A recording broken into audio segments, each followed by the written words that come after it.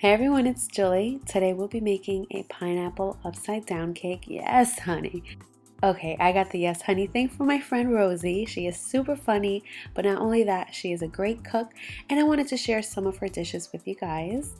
Mm-hmm, I told you guys she was good. Now I'm using Rosie's pineapple cake, upside down cake recipe, and it was incredible. I'll post her original video down in the description box below, and Rosie will be doing one of my recipes. So don't forget to go to her channel and subscribe. So now let's get started.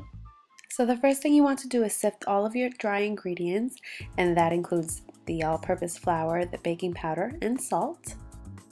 Sifting is annoying, but it will give you a smooth batter rather than a lumpy one, so sifting is always good.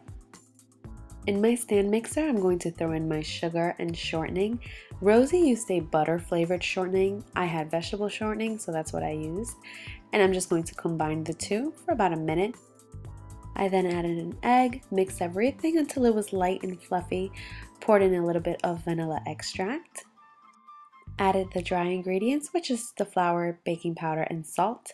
Poured in some buttermilk, some pineapple juice that came in the same can that the pineapple slices came in, and I mixed everything for about 15 seconds until it was nice and smooth.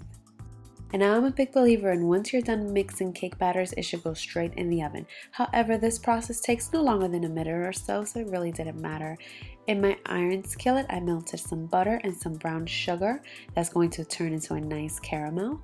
And then we're just going to place our pineapple rings.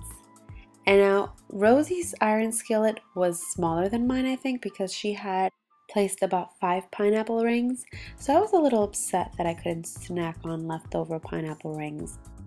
Alright, so I placed some cherries inside of the pineapples. I then poured the cake batter on top and I smoothed it out the best I could with my spatula. And while I'm smoothing away, I'll let you guys know right now that this cake was amazing. It really was. Some people serve this with some vanilla ice cream. I didn't think that was necessary. If a cake is really good, you don't need ice cream or whipped cream. Definitely not whipped cream. Sprinkles, chocolate syrup, yada yada. Unless it's a hot fudgy brownie or a hot lava cake, then yeah. And as always, I'm getting too carried away here. So I baked this in a preheated oven at 350 degrees for about 35 minutes. Now very, very important, wait until your cake has completely cooled before flipping it over. Take a knife and run it along the sides. If you don't wait for it to cool, you'll have a mess, a delicious mess, but still you want it to look nice and pretty. First time I ever made pineapple upside down cake, it fell apart because I didn't wait for it to cool, rookie mistake. So now you know. Plus, you don't just want to eat this, you want to take pics and show off a bit, right? Right. I hope you guys give this recipe a try. Don't forget to check out and subscribe to Rosie's page, please. I hope you guys enjoyed this video, and thank you guys so much for watching.